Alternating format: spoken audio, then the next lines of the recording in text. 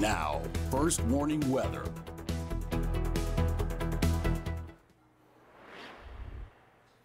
Hello, Guam. As we check things out on our weather, uh, how things are looking for the week. And here's what we're doing. We're keeping watch on uh, a uh, system here. Now, we're not talking hurricanes or tropical storms or anything like that, but there is a system that uh, could affect uh, the area uh, during the first couple days of this week here is Something that we will watch and uh, it'll probably uh, or possibly bring some heavy rainfall though looks like it'll probably stay south but again, something we will watch. Now, it will bring some pretty good wind, and that could uh, churn up the waves uh, seven, maybe eight feet through the middle of the week.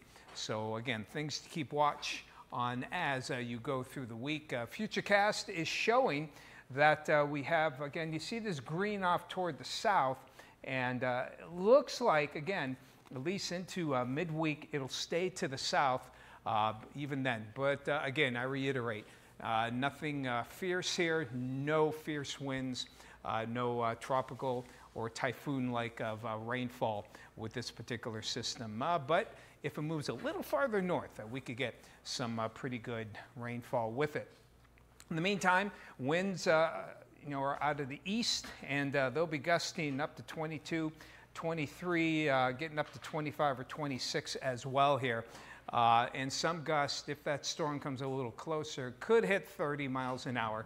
So uh, just uh, be wary for that as uh, you plan for the week. And again, a lot of wind and some good wave action. In the meantime, uh, here's your high tides uh, overall, low tides, and we're still in the first quarter of the moon phase. we're getting being close to a full moon in a couple of days here. So uh, your outlook for uh, the next several days, again, uh, we're going to um, keep uh, a threat of some rain uh, from that system. Uh, that trend will continue into the first couple days. particularly Tuesday and Wednesday may be a better shot uh, of uh, some of the rainfall, particularly on the main island of Guam as well. Otherwise, temperatures, uh, if we get a little more rain, these temps will be cooler. we'll go upper 80s for now, but they could very well be mid 80s with that precipitation. And then uh, the system is expected uh, to move off by the end of the week. Temperatures again in the 80s with rainfall chances dropping closer to 20%. And uh, looks like that trend is going to continue as we head on toward the end of the week.